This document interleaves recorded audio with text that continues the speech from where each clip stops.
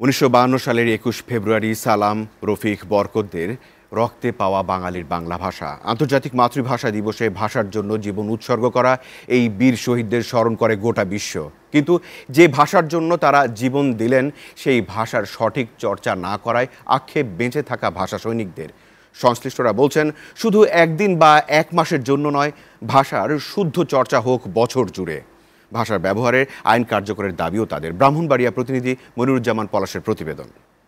English word জিজ্ঞেস করব যেগুলো আমরা বাংলা ব্যবহার করি প্রতিদিন। এটি ভিডিও শেয়ারিং সাইট ইউটিউব থেকে নেওয়া একটি জরিপের কিছু অংশ।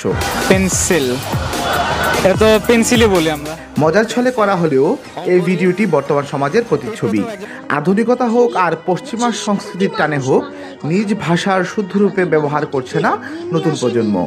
ফলে দিন দিন হারিয়ে যাচ্ছে বাংলা ভাষার প্রকৃত রূপ। এফএম রেডিও থেকে শুরু করে অফিস আদালত, হাসপাতাল, কলেজ বিশ্ববিদ্যালয়, এমনকি শিশুদের প্রাথমিক স্কুলেও বিদেশি ভাষার আধিপত্য।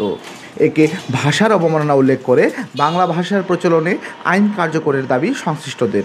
সাম্প্রতিক সময়ে আমরা দেখছি ভাষার মর্যাদা কোথাও কোথাও বিপন্ন হচ্ছে। আমরা দেখছি যে কিছু কিছু রেডিও বাংলা ভাষা সঠিক উচ্চারণ করছে না, ভাষার ব্যবহার করছে না। আমরা দেখতে পাচ্ছি যে আইন থাকা সত্ত্বেও আইন কার্যকর হচ্ছে না সাইনবোর্ড লিখবার বেলায়।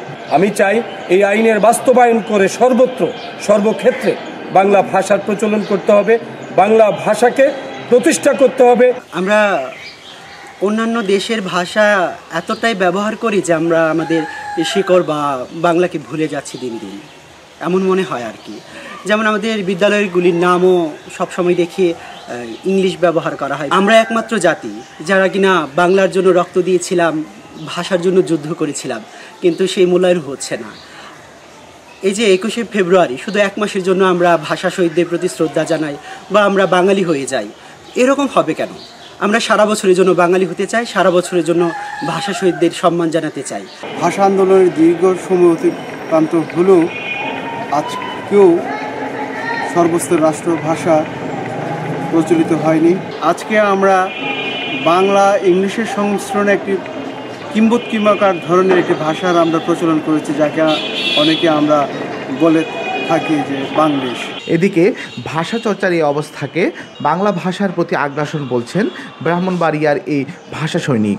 শুদ্ধ বাংলা ভাষার টিকে থাকা নিয়েও সংশয় তার। বাংলা ভাষাটার প্রতি চূড়ান্ত একটা মানে হামলা এ মানে আগ্রাসন যেটাকে বলে। সারা মানে যে যে ভাষাকে কেন্দ্র করে আমরা স্বাধীন রাষ্ট্র বাংলাদেশ ছিল, সেই বাংলাদেশে বাংলা নামে কোনো স্কুল এখন আর পাওয়া যায় না। বাংলা ভাষা শেষ পর্যন্ত মানে টিকে থাকব কিনা এটা আমারই একটা গভীর সন্দেহ থাকবে না। বাংলা ভাষার মর্যাদা রক্ষায় সরকারকে যেমন সচেষ্ট হতে হবে, তেমনি সাধারণ মানুষও ভাষা ব্যবহারে আরও যত্নশীল হবে, এমনটাই প্রত্যাশা সবার। Moniruzzaman Palash SA TV Brahmanbaria.